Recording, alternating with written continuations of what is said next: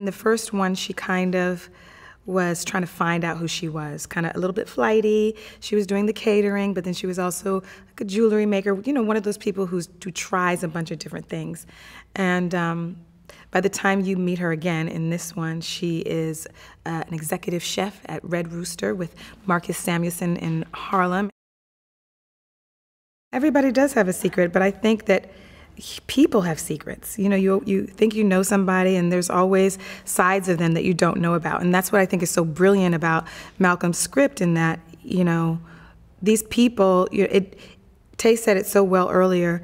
These people. Um, you know, it kind of ends in a very happily ever after way, the first movie. And then you actually get to see that life isn't such a fairy tale, that, you know, there are ups and downs and people do grow, but sometimes, you know, they get stuck in bad patterns. And um, it's, it's interesting to see how when we all come together in this, uh, over this weekend in this same house, how things just start exploding.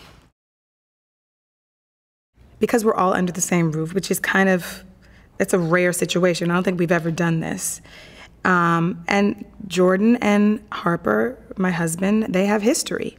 And I don't really know her that well. And um, yes, there used to be some energy, some kind of chemistry between them. And I think that you know, that kind of chemistry never goes away. And um, I think that Robyn picks up on that, and it's, it's kind of intimidating. I think that that's a testament to Malcolm and you know how much we really appreciate him and his his talent. And um, you know, the first film, who knew it was going to become like a new classic? And so we were thrilled to come back together, and it was a blast.